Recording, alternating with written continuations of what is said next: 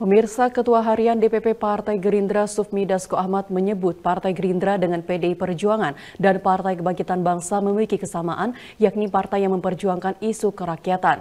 Menurut Dasko, Partai Gerindra banyak membawa isu kerakyatan dalam berpolitik di tingkat legislatif maupun eksekutif.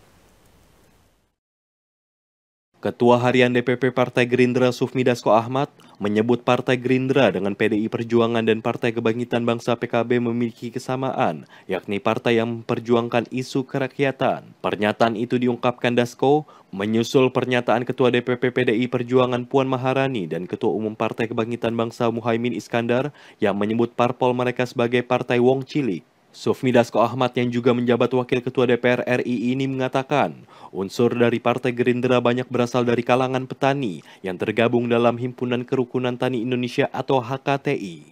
Selain itu, lanjut Dasko, banyak elemen dari Partai Gerindra yang sebenarnya berasal pula dari nelayan dan buruh.